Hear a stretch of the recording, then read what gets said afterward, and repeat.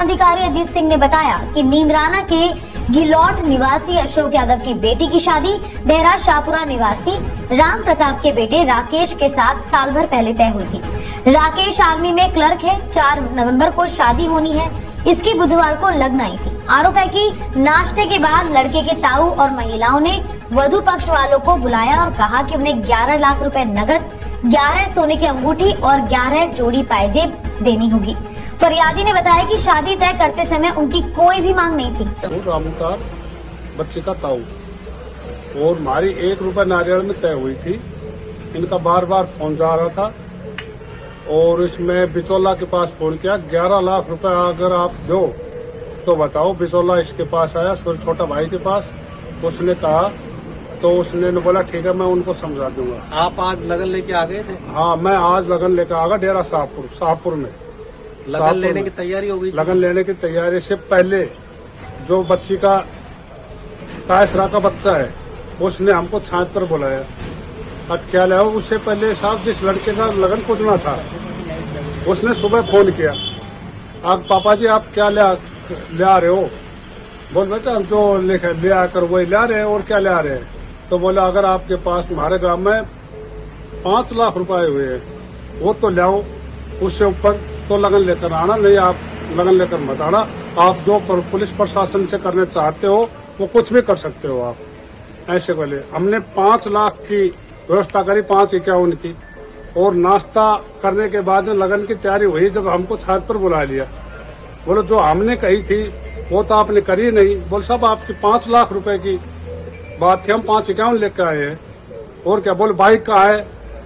Bike, बोले हमारी तो पैसा की बात हुई है, बाइक की तो हुई नहीं। पैसों की बात हुई है तो बोले मैं तुझ की बजाय एक मिनट में लेना चाहता हूँ। क्यों उसके बच्चे उस बच्चे के नाम हमने बाइक निकलवा ली और उसके नाम करवा दिया।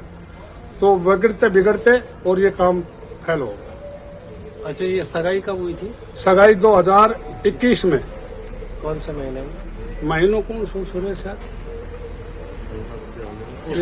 पाँचों छठा महीना की बात है। ना ना ना। तो ग्यारह बारह लड़की ग्यारह बार लड़की का पिता क्या करता है? लड़की के पिता जमींदार है अपना जमींदारा करता है कहीं से व्यवस्था करिए एंड टाइम के ऊपर साढ़े पाँच लाख रुपए की। लड़के का पिता क्या करता है? जमींदार है। लड़का क्या करता है? लड़का आर्मी में है। लड़की क्या करती है? लड़की बी ए कर रखी है।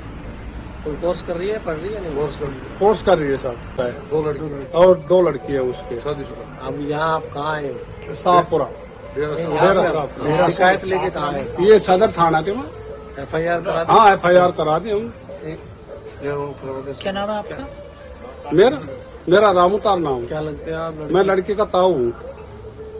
हमारे पास कंट्रोल रूम से सूचना आई थी कि डेरा शाहपुरा में कोई एक लगन टीका के लिए पक्ष आए हुए हैं। उनके और दूसरे वर पक्ष के बीच में कोई विवाद हो गया। इस पर तत्काल पुलिस वहाँ पहुँची। वहाँ पहुँचने के बाद में जानकारी की तो एक दिलो दिलोट से एक पक्ष आया था जो अपने बच्चे की सगाई वगैरह करने के लिए आज लगन का कार्यक्रम था उनके बीच में इनके कोई लेन देन की बात को लेकर विवाद हुआ। इन्होंने शिकायत की कि हमसे दहेज की मांग की जा रही है। ये पक्ष थाने पर उपस्थित है। अभी लिखित में रिपोर्ट प्राप्त की जा रही है। जैसे ही रिपोर्ट प्राप्त होगी लड़का क्या करता है सर? लड़का जैसे इन्होंने मौखिक रूप से बताया ये फौज में कोई कार्यरत करता है कितना पैसा डिमांड की है कितना दे रहे थे? अभी इन्होंने मौखिक है जैसे भी रिपोर्ट प्राप्त होगी वो मैं आपको बता पाऊँगा हम्म, इसमें क्या आप जैसे क्योंकि रिपोर्ट दर्ज करें तो किस धाराओं में करेंगे और उसके बाद क्या कार्रवाई उसमें जैसा कि आप जानते हैं कि दहेज लेना और देना दोनों ही कानूनन अपराध है और इनके द्वारा मांग की गई है तो दहेज प्रतिषेध अधिनियम की धारा तीन बटा चार के तहत और और जो भी इनके रिपोर्ट होगी उसमें जो भी धारा बनेगी उसके तहत इसके मुकदमे दर्ज किया जाएगा। ठीक।